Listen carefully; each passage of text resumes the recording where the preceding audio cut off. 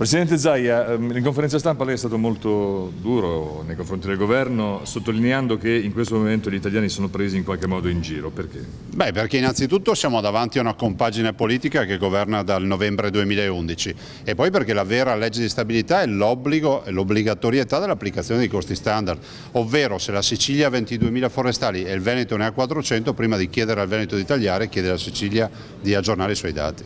Senta, 15 milioni di eh, italiani, quelli che vivono in Lombardia e in Piemonte, eh, fanno sacrifici, voi l'avete sottolineato, e riescono a tenere i costi in qualche modo bassi. C'è un problema di tagli lineari che voi non condividete. Non condividiamo, ma i nostri cittadini fanno ancora di più, pagano tasse che poi inviano a Roma. Dal Veneto 21 miliardi ogni anno di tasse restano a Roma e Roma letteralmente le spreca.